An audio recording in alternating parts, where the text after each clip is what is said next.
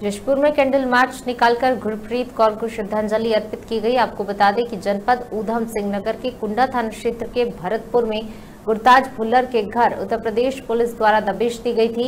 इस दौरान उनकी पत्नी गुरप्रीत कौर की गोली लगने से मौत हो गई थी, जिसके बाद से क्षेत्र में भारी रोष है। मामले को लेकर आमजन ने उत्तर प्रदेश पुलिस के खिलाफ कार्रवाई की मांग की। वहीं क्षेत्र के लोगों ने भारतीय किसान यूनियन के बैनर तले सुभाष चौक पहुंचकर कैंडल मार्च निकालकर गुरप्रीत कौर को श्रद्धांजलि दी। किसान यूनियन के ब्लॉक अध्यक्ष अमनदीप सिंह का कहना है कि जिस तरीके से घर में घुसकर गोली चलाई गई और उनकी पत्नी की मौत हो गई, जिसके कारण पूरे क्षेत्र में और जशपुर में डर का माहौल है।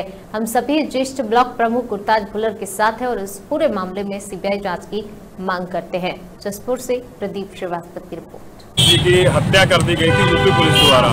उसके उन्हें श्रद्धांजलि देने के लिए हमने आज ये कैंडल मार्च निकाला है। और पूरे क्षेत्र की जन, जनता में एक भारी रोष है जो यूपी पुलिस द्वारा गुंडाई की गई है।